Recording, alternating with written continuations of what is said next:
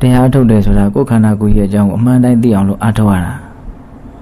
ကိုယ်ခန္ဓာကိုယ်ရဲ့အကြောင်းကိုအမှန်တိုင်းသိမှလောဘဒေါသငြိမ်းပါကိုခန္ဓာကိုယ်ရဲ့အကြောင်းကိုအမှန်တိုင်းမသိတော့ဒီခန္ဓာကိုယ်ရဲ့ပုံမှာဆွဲလန်းကြတယ်မမောကြတယ်အဲ့ဒီဆွဲလန်းမှုမမောမှုတွေကြောင့်ပဲဆင်းရဲဒုက္ခတွေဖြစ်ကြရတာဆင်းရဲဒုက္ခတွေချုပ်ငြိမ်းသွားဖို့အတွက်ဒီခန္ဓာရဲ့ပုံမှာဆွဲလန်းမမောမှုလို့ဆိုတဲ့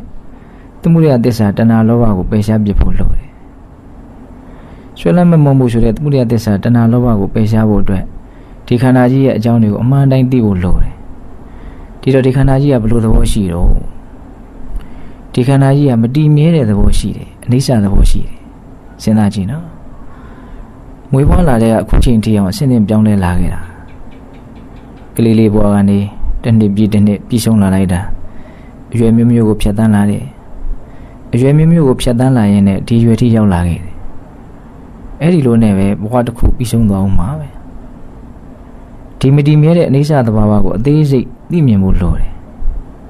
အချိန်တိုင်းပြီးဆုံးလိုက်နေတယ်ဆိုတာကိုနားလည်ဖို့လိုတယ်ဖြစ်လာတဲ့သဘောတွေကပြီးဆုံးသွားနေတယ်ဖြစ်လာတဲ့သဘောမှန်တယ်များဘယ်ဖြစ်ချင်းတရားမှတည်မြဲနေတယ်ဆိုတာမရှိဘူးယံကိရှိသမှုရိယဓမ္မတပ္ပန္တနိရောဓဓမ္မတိတဲ့ ဘာတွေပဲဖြစ်လာဖြစ်လာဖြစ်လာတဲ့သဘောမှန်တယ်များအကုန်လုံးဖြုတ်ကြောက်ချုပ်ပြောက်သွားကြမှာစဉ်းစားကြည့်နော်ဆိုကြပါစို့ဘဝမှာမြင်ရတယ်ဆိုတာတွေဖြစ်နေတယ်အဲ့ဒီမြင်တယ်ဆိုတာတွေကလည်းပဲမြင်ပြီးပြီးသွားတာပဲနောက်ထပ်အသစ်ထပ်ပြီးမြင်တာတွေဖြစ်တယ်အဲ့ဒီအသစ်ထပ်ပြီးတော့မြင်ရတာတွေလည်းတည်မြဲနေတာမဟုတ်သူလည်းပြီးသွားတာမြင်မှုတွေကထပ်ထပ်ထပ်ထပ်ဖြစ်တယ်ဖြစ်တိုင်းဖြစ်တိုင်းလည်းပြီးဆုံးပြီးဆုံးသွားတာ အဲ့လိုပဲကြားရတာတွေလည်းကြားပြီးပြီးသွားတယ်နောက်ထပ်ထပ်ပြီးတော့ကြားတယ်အဲ့ဒီအသစ်ထက်ထက်ကြားရတဲ့သဘောကလည်းတည်မြဲနေဝင်မရှိဘူးသူလည်းပဲချုပ်ပြောက်သွားတာပဲ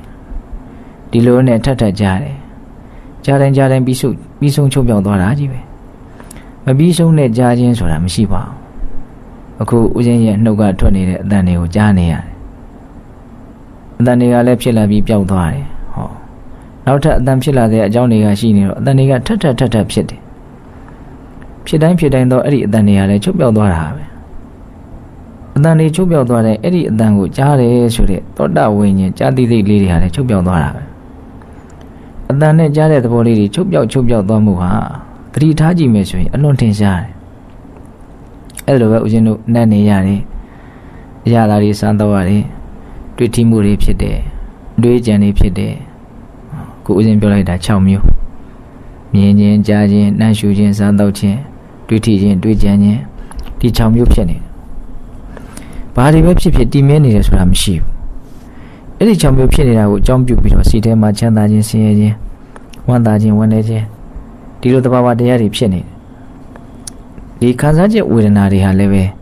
တည်မြဲနေတာမဟုတ်သူတို့လည်းပဲဖြစ်ပေါ်လာပြီးတော့ချုပ်ပြောက်သွားကြတာပဲ အဲ့လိုတည်မြဲမှုမရှိတာဒီခန္ဓာရဲ့သဘောအမှန်အဲ့ဒီသဘောအမှန်ကိုအမှန်တိုင်းသိအောင်လို့ဒီခန္ဓာကိုယ်မှာဘယ်လိုသဘောတွေပဲဖြစ်လာဖြစ်လာ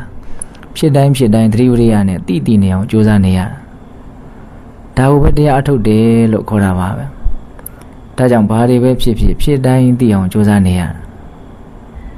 ဒီခန္ဓာမှာဖြစ်နေတဲ့သဘာဝတရားတွေကိုဘယ်သဘာဝတရားတွေကိုပဲဖြစ်ဖြစ်သူ့အရှိသဘောတိုင်းသိသိနေအောင်ကြိုးစားရမြ တ်စွာဘုရားကဒီခန္ဓာကြီးရဲ့အကြောင်းကိုအမှန်တိုင်းသိအောင်လို့ရှုတော်မျိုးစုံကနေရှုကြည့်နေဖို့သင်ကြားပေးထားတာဥမာအာနာပါနဆိုရပါစို့ဒီဝင်သက်ထွက်တဲ့ဝင်လေထွက်လေကိုဝင်တိုင်းထွက်တိုင်းသတိထားခိုင်းတယ်ဒီဝင်လေထွက်လေရဲ့ဝင်မှုထွက်မှုဟာဒီခန္ဓာကြီးရဲ့အလွန်ရေးပါတဲ့အစိပ်ပိုင်းတစ်ခုဒါဝသတိထားပြီးတော့ရဇတ်သိနေအောင်ကြိုးစားရတယ်ဝိဝုဆိုဘုရားကြီးသင်ပြပေးတဲ့အတိုင်းပြောရရင်တော့ ဝင်လေဝင်တိုင်းထွက်လေထွက်တိုင်းနာသီပြတနေရာရဲ့ကိုထိခိုက်ပုတ်တိုက်ပြီးတော့ဝင်ထွက်သွားတယ်အဲ့ဒီထိတဲ့နေရာလေးကိုစိတ်ဆိုင်ပြီးတော့ဒလဇက်ဖြစ်ပေါ်နေတဲ့ထိမှုသဘောလေးကိုဒလဇက်ပဲတည်တည်နေအောင်ကြိုးစားရတယ်ရိုးရိုးလေးပဲ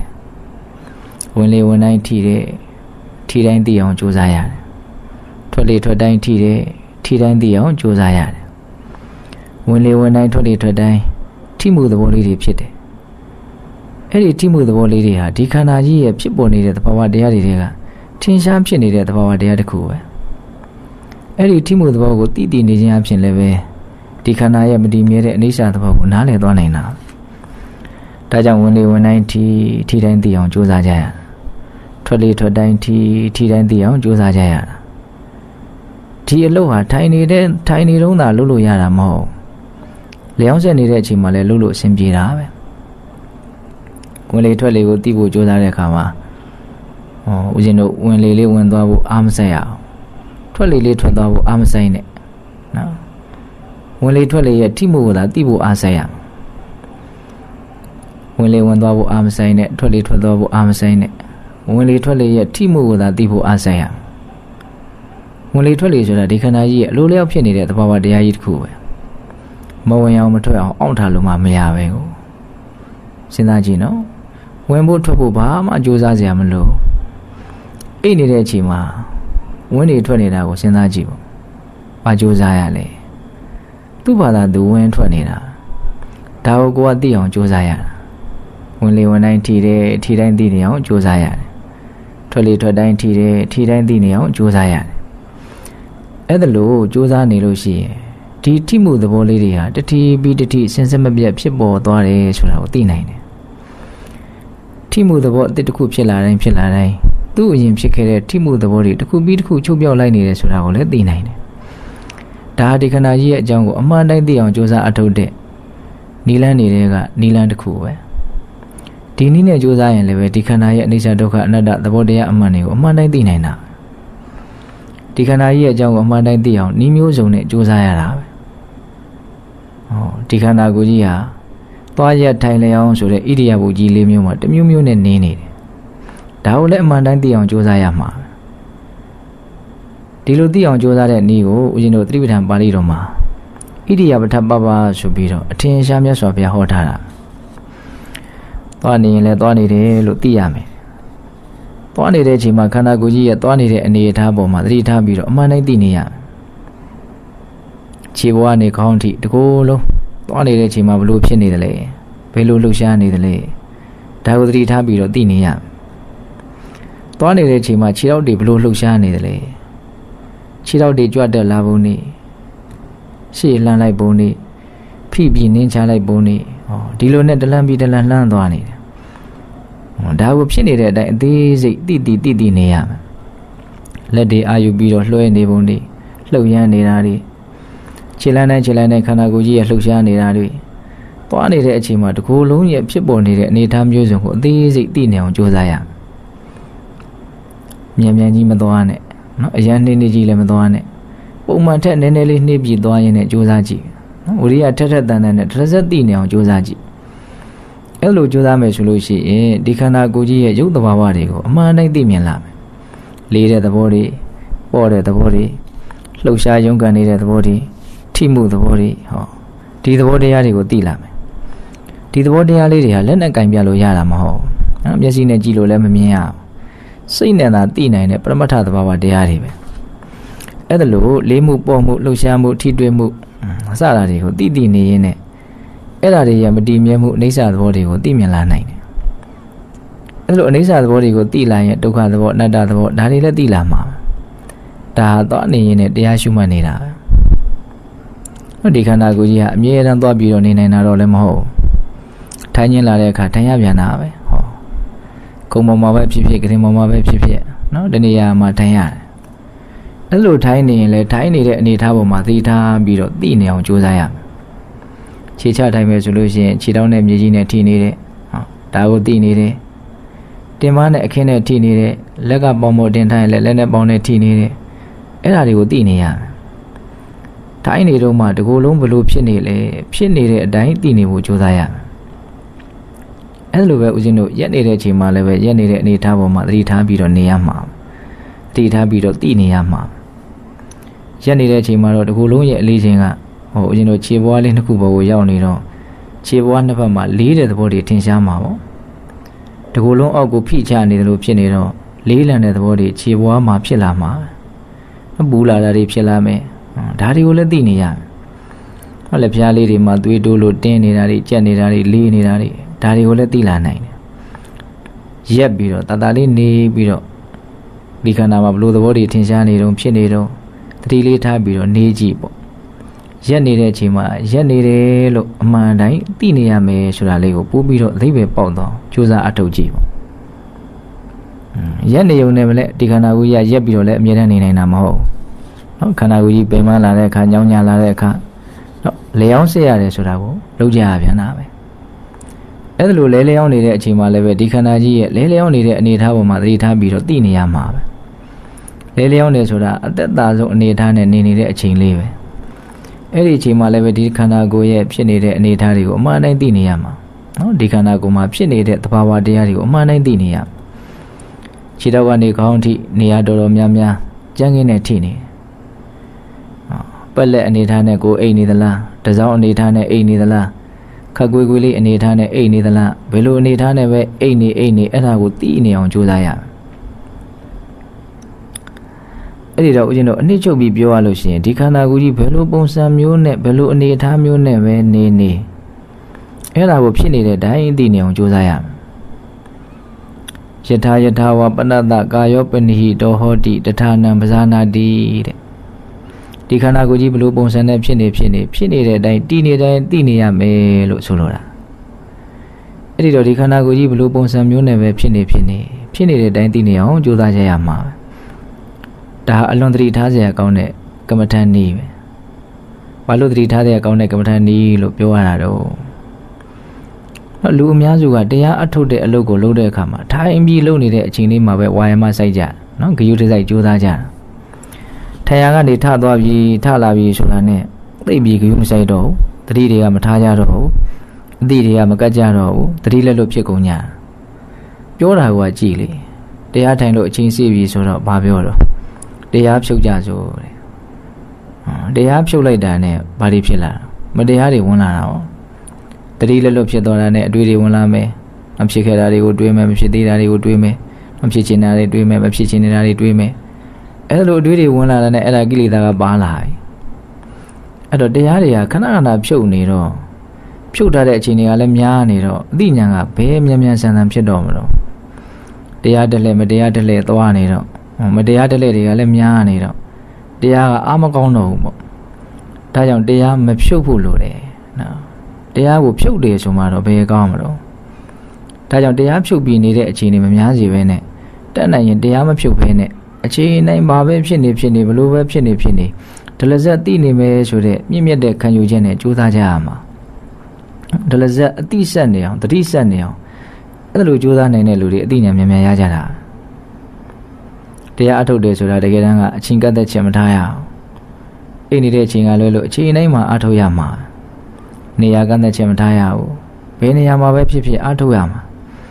အနေအထားကန့်သက်ချက်မထားရဘူး ဘယ်လိုအနေအထားမျိုးနဲ့မဆိုအားထုတ်ရမှာ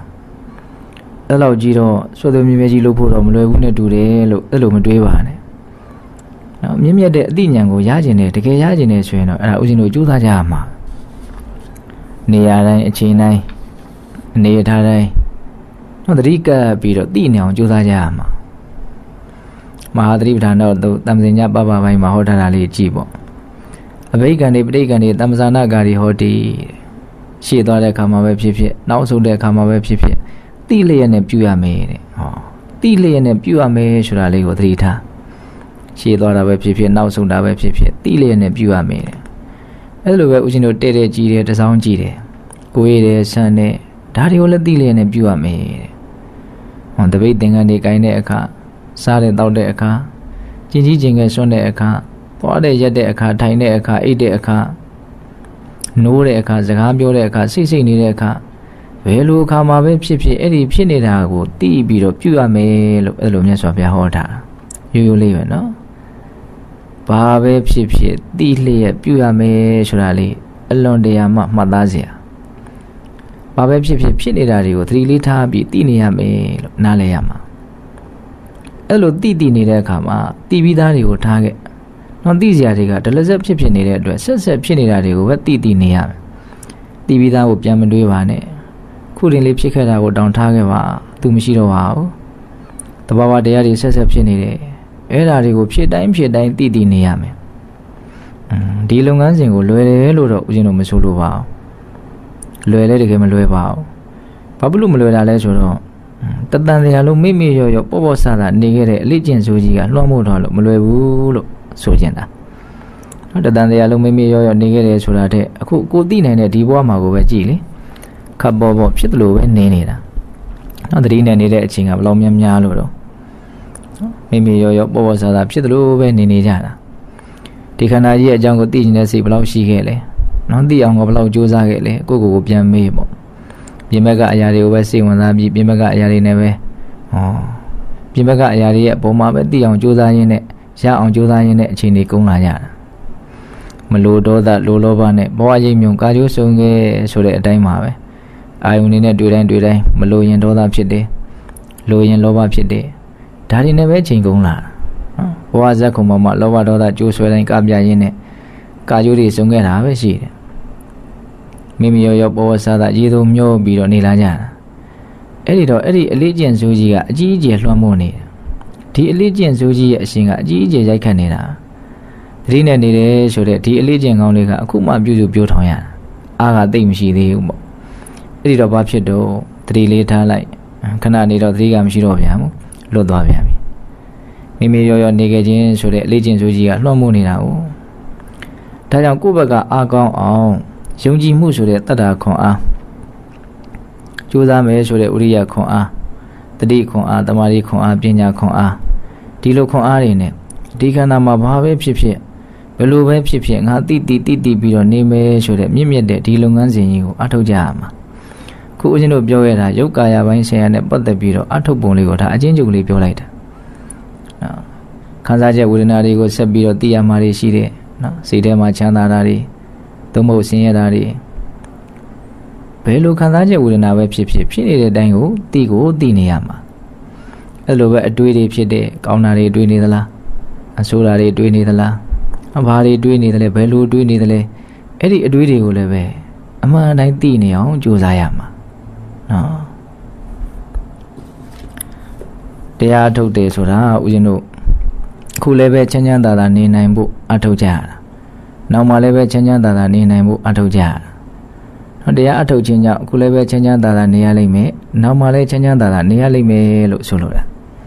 အကျိုးကျေးဇူးအကျမ်းမြတ်နှမျိုးလို့ဆိုကြပါစို့နော်တရားအလုပ်ကိုအထုတ်လို့ရှိရင်အခုလည်းပဲချမ်းချမ်းသာသာနေနိုင်လိမ့်မယ်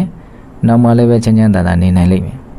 ဟောအခုလည်းပဲချမ်းချမ်းသာသာနေနိုင်လိမ့်မယ်ဆိုတာနဲ့ပတ်သက်ပြီးတော့ဟောကိုယ်ခန္ဓာမှာဖြစ်နေတာတွေကိုတိတိနေခြင်းအဖြစ်တရားဓမ္မတို့ဦးဇင်းတို့ရဲ့စိတ်နှလုံးဟာအေးချမ်းမှုကိုရနိုင်တယ်ဖြစ်နေတာတွေပေါ်မှာသတိကပ်ထားလို့ရှိရင်ຢာကဒေါသမောဟစတဲ့ကိလေသာတွေမဖြစ်နိုင်ဘူး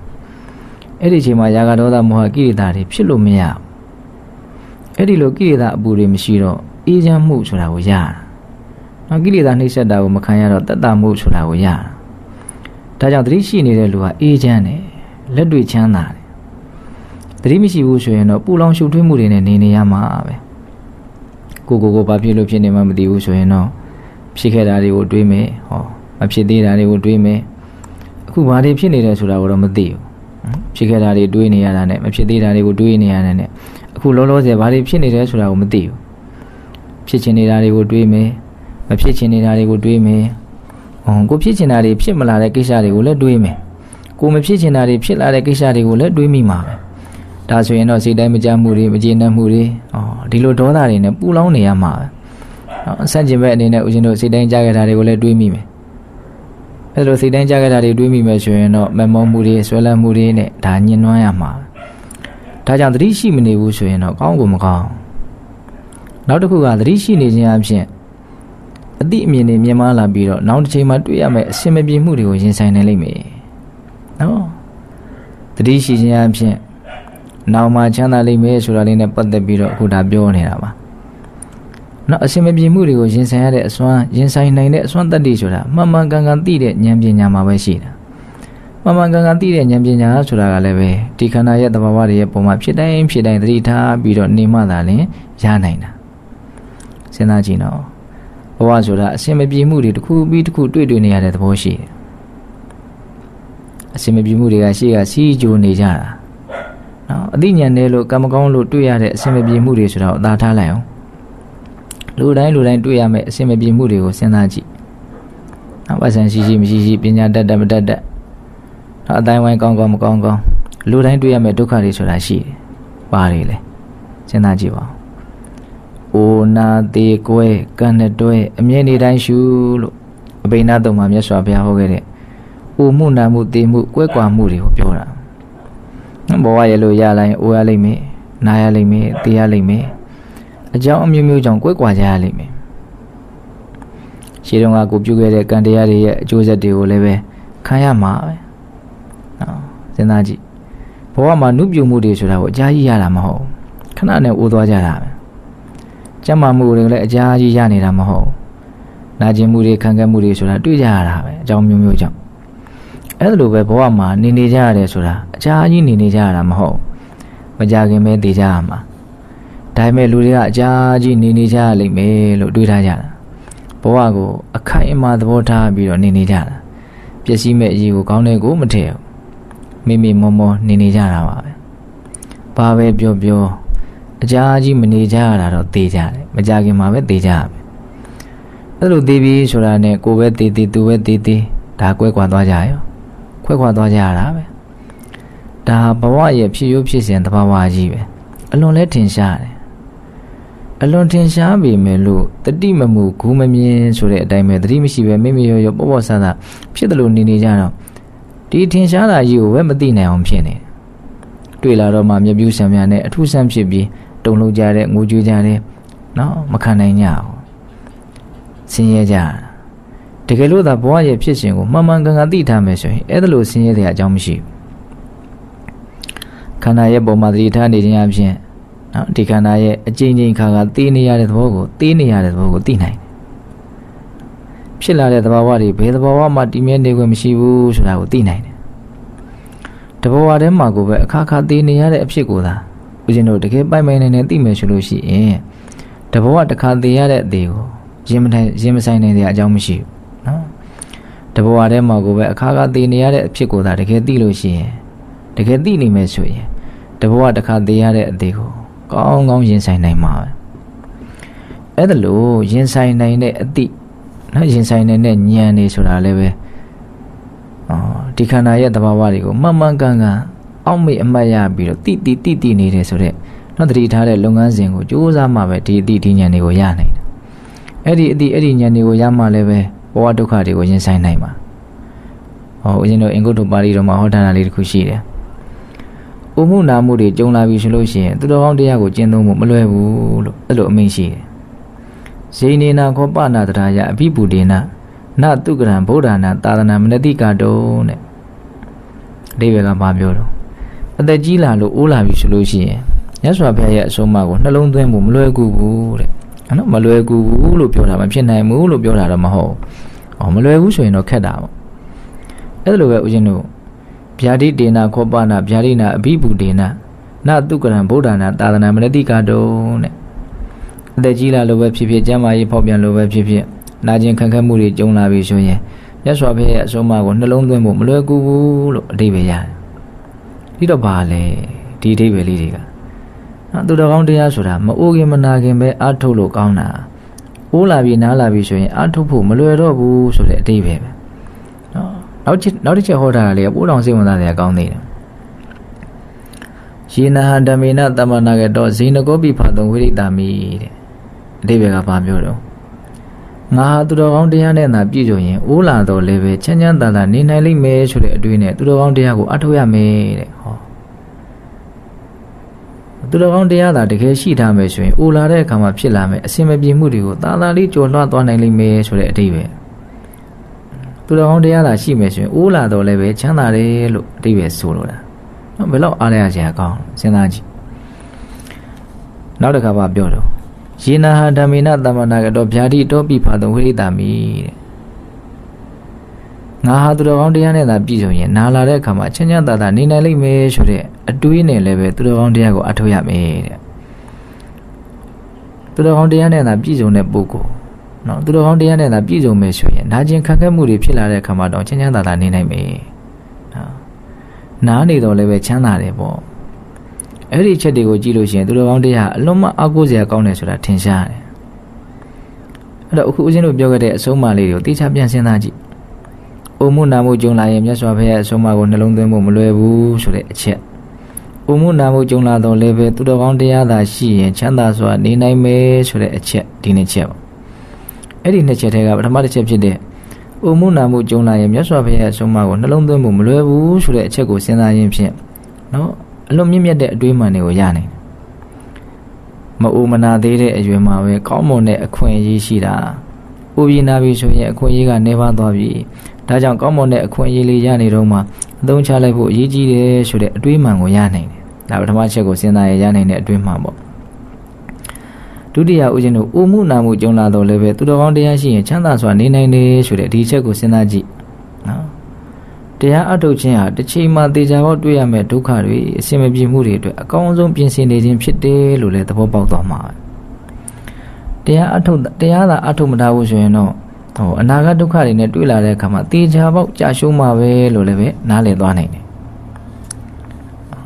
ဒါကြောင့်အဲ့ဒီအချက်ကလေးနှစ်ချက်ကိုအသေးချာလေးစဉ်းစားကြည့်တယ်အဲ့ဒီအချက်နဲ့ချက်တွေကနောက်အချက်ဖြစ်တဲ့ဟောသူတော်ကောင်းတရားသာရှိရင်ဥမှုနာမှုကြုံလာတဲ့အချိန်မှာချမ်းသာစွာနေနိုင်တယ်ဆိုတဲ့ ဒီအချက်လေးကိုအခြေခံပြီးနောက်ထပ်တစ်ခုလောက်ထပ်ပြီးတော့စဉ်းစားကြည့်ပါဦး။အိုဒုက္ခနာဒုက္ခဆိုတာဘုရားရဟန္တာသူတော်ကောင်းကြီးတွေလည်းတွေ့ကြရတာပဲ။အသိဉာဏ်မရှိတဲ့ပုထုဇဉ်လူမိုက်တွေလည်းတွေ့ကြရတာပဲ။ဘယ်သူမှရှောင်လို့မရအောင်။အလုံးတွေ့ကြရတာ။တွေ့ကြရတာချင်းတူပဲမလို့ရင်ဆိုင်မှုချင်းမတူဘူး။နားလည်မှုချင်းမတူဘူး။ရင်ဆိုင်တတ်တော့ချမ်းသာတယ်ရင်မဆိုင်တတ်တော့ဆင်းရဲတယ်။နားလည်နေတော့ချမ်းသာတယ်နားမလည်တော့ဆင်းရဲတယ် နားလေတယ်နားမလေဘူးဆိုတာလည်းပဲစစ်မှန်တဲ့အသိဉာဏ်ရှိတာမရှိတာကိုဆိုလိုတာနော်ဆင်းရဲဒုက္ခနဲ့တွေ့တော့လည်းပဲအသိဉာဏ်ရှိတော့မဆင်းရဲဘူးနော်ဆင်းရဲဒုက္ခနဲ့တွေ့လာတဲ့ခါမှာအသိဉာဏ်မရှိရင်တော့အကြီးအကျယ်ဆင်းလဲရလိမ့်မယ်ဒါကိုချီခံပြီးတော့အများကြီးစဉ်းစားကြည့်နော်အစင်မပြေမှုတွေလောကရန်တွေဒုက္ခတွေအာဒါတွေလူတိုင်းတွေ့ကြရတာဘဝရလာရင်ဘဝရဲ့ဒုက္ခတွေဆိုတာတွေ့ကြရတာပဲတွေ့ကြရတာကတော့တယောက်နဲ့တယောက်သိမထူးလားနော်အပေါ်ရောက်တော့ပဲထူးမယ်လို့ထင်ရတယ် ဒုက္ခတွေ့ကြတာချင်းတူပေမဲ့လို့ရင်ဆိုင်ကြပုံချင်းနားလည်ကြပုံချင်းဖြတ်တန်းကြပုံချင်းမတူဘူးသူတော်ကောင်းတရားသိတဲ့လူရဲ့ရင်ဆိုင်ပုံကတစ်မျိုးသူတော်ကောင်းတရားမသိတဲ့လူရဲ့ရင်ဆိုင်ပုံကတစ်မျိုးသူတော်ကောင်းတရားကိုသာတကယ်သိရင်ဒုက္ခတွေတွေ့လာတဲ့အခါမှာအကောင်းဆုံးရင်ဆိုင်နိုင်မှာပဲချမ်းချမ်းသာသာပဲရှိနေမှာပဲဒါကြောင့်လောကကြီးမှာသူတော်ကောင်းတရားကိုသိတဲ့အသိဉာဏ်လောက်အာကိုတိုက်တာတန်ဖိုးရှိတာတခြားဘာမှမရှိဘူးအခုအဲ့ဒီအသိဉာဏ်ကိုရအောင်လို့ကြိုးစားနေကြတာ စစ်မှန်တဲ့အာကိုရာကိုရှာနေကြတာတန်ဖိုးအကြီးဆုံးရာကိုရှာနေကြတာအဲ့လိုမှန်မှန်ကန်ကန်နားလည်ပြီးတော့ဒီခန္ဓာမှာဘာပဲဖြစ်ဖြစ်အမှန်တိုင်းတိတိတိတိနေမယ်လို့ဆိုတဲ့ဒီမြင့်မြတ်တဲ့လုပ်ငန်းစဉ်ကြီးကိုစ조사အထောက်ကြဖို့လိုတယ်ဒီလုပ်ငန်းစဉ်ရဲ့တန်ဖိုးကြီးပုံကိုနော်ယုံကြည်မှုခိုင်ခိုင်မြဲမြဲနဲ့နော်ဒီလုပ်ငန်းစဉ်ကိုအလွန်ထက်သန်တဲ့လုံလဝရိယနဲ့ ကိုယ်ခန္ဓာမှာသတိထားခြင်းဆိုတဲ့ဒီအမွန်မြတ်ဆုံးသူတော်ကောင်းအလုပ်ကြီးကိုစူးစမ်းကြရမှာ